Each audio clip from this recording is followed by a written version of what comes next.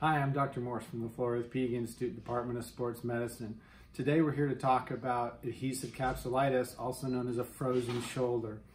Typically, there's any type of trauma to the shoulder can result in an inflammation or a swelling which causes bleeding into the shoulder joint. When bleeding occurs, just like you get anywhere, you'll get a clear fluid that forms like over a cut, which will then turn into scab, and that will actually harden. The same thing can happen inside the body. So you can get a inflammation or a tear of the capsule of the joint in the shoulder from any type of trauma that will then result in a bleeding into the joint, which will result in scarring. And just like in order to raise your arm up overhead, you need to have this um, shirt be allowed to stretch and open. And then when you bring the arm back down, the shirt folds up into multiple folds to allow it to lay by your side. The joint capsule around the shoulder joint has the same type of effect. So if there's bleeding down here and this scars together and I try to raise my arm up, all of a sudden I can't get my arm all the way up. And that's the clinical classic sign for a frozen shoulder. In addition to pain with overhead activity is you'll notice that you're losing motion this way. You won't be able to get your hand up behind your back and going forward or out to the side, you'll start having limited motion. So this is what we're here to talk about today. The cause can be um, status post breast surgery. It can be status post tendonitis in the shoulder from too much lifting. It can be status post fall or injury. Any kind of trauma that causes bleeding in the shoulder can cause this. So now let's talk about how we want to manage it. The first thing we want to do is stop the offending activity. So if we're doing a lot of heavy lifting overhead and that causes the shoulder to flare up and start limiting the motion, the first thing we want to do is stop doing those activities that are causing it to flare up. Next, we want to focus on getting that motion back. So imagine that you have a piece of paper and you fold it in half and we put Elmer's glue on it and we hold it shut. Now, in order to get a frozen shoulder to unfreeze, what we're doing is we're trying to peel the two pieces of paper apart without tearing the paper. So this has to be done carefully and delicately so as to not rip the paper. If you take too long, the glue has too much time to dry and it freezes up and it's really hard to get the shoulder to unfreeze. If you do it too fast, you rip the paper and every time you rip the paper is ripping the capsule in the shoulder. It causes more bleeding and it causes it to scar back down. So finding that balance is the key to the motion. So the first exercise that we're going to do are called table slides. So you can do this one of two ways. You can take your arm and put it on a smooth surface like a counter or like a tabletop and you're going to do abdomen exercises. So if you're sitting down at your table, you would rest your forearm on the table and you would just gently slide your arm away from you. You're not raising or lifting the arm. You don't have to use these muscles, so it shouldn't be strenuous. It would just be a matter of sliding the arm away. If your arm doesn't slide on the table, putting it on a dish towel or a cloth placemat will allow it to slide much smoother so you're not having to push so hard. And that's what you do. Then you would slide the arm forward as far as you can tolerate until you feel it really pulling.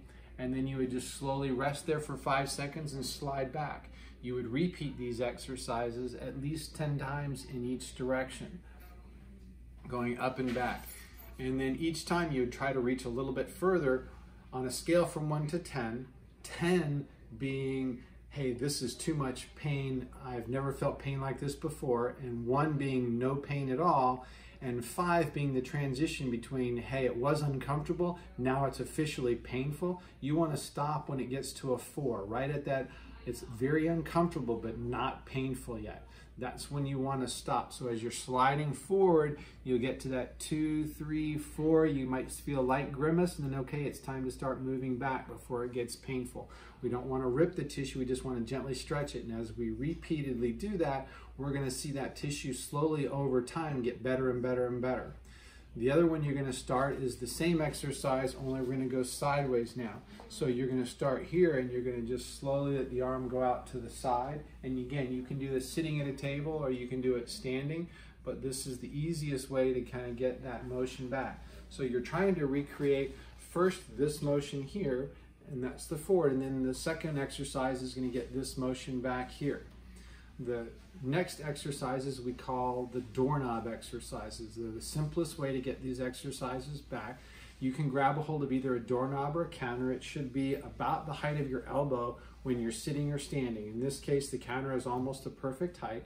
So what I will do is I will stand and put my hand on the counter like this, and I will just relax my hand here and just slowly, gently walk my arm further and further away to stretch the front of the joint capsule out. And I'm gonna stretch that again until I get to that certain level. And some people, it might start off right here. Others, it might be here, depending on how tight the capsule is. The goal is to just gently stretch it back this way. One of the things that I haven't mentioned yet is that typically it takes three to six months minimum for this to completely recover if it hasn't been very long. So our goal is not to gain 10 degrees a day, it's to gain approximately one degree each day by doing the exercises two or three times a day.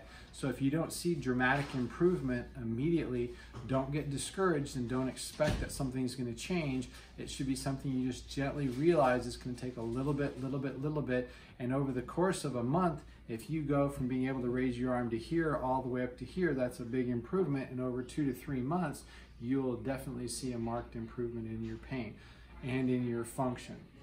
The fourth exercise is what we call the internal rotation, and that's the other doorknob exercise. So you can either grab a hold of a doorknob or a counter about the same height, and you'll grab it, but rather than grab it palm up like we did here, we're gonna grab it palm down this way.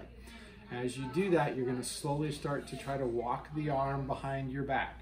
And you just either have your hand on the doorknob or hand on the counter and just gently squeezing and you just kind of slowly see if you can't move that arm as far around behind your back.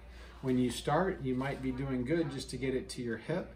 Then you might be getting good to get it to your back pocket and eventually you'll get it to the middle of your back. Once you get it to the middle of your back, the next goal is to do gentle squats and bring that arm up so that you can slowly reach your arm further and further up your back. And that allows you to do is be able to eventually get your arm back up to where you can hook a bra in the back, you can tuck a shirt, you can get your wallet out of your back pocket, and you can use the restroom. These are all exercises that are going to require enough internal rotation to do that. So those are the four main exercises for starting off with frozen shoulder.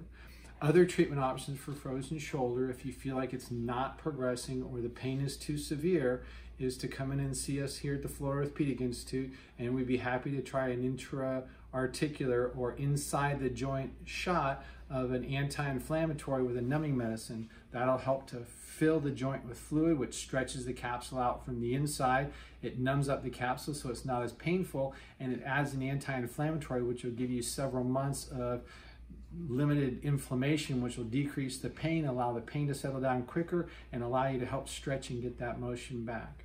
If that doesn't seem to get the pain in a fast enough recovery mode for you, then other options would be to do an arthroscopic surgery where we slowly release the scarred capsule and stretch the shoulder out while you're asleep to get all your motion back, and then start your informal physical therapy. Again, if the exercises that you're doing at home aren't enough, we can always do physical therapy first or the injection or surgery down the road. But if you start off with these while you're waiting to get in to see us, then at least you'll be headed in the right direction in the meantime. Once again, this is Dr. Adam Morse, Sports Medicine Department of the Florida Orthopaedic Institute. Thank you very much for tuning in and hope we can get your shoulder symptoms feeling better.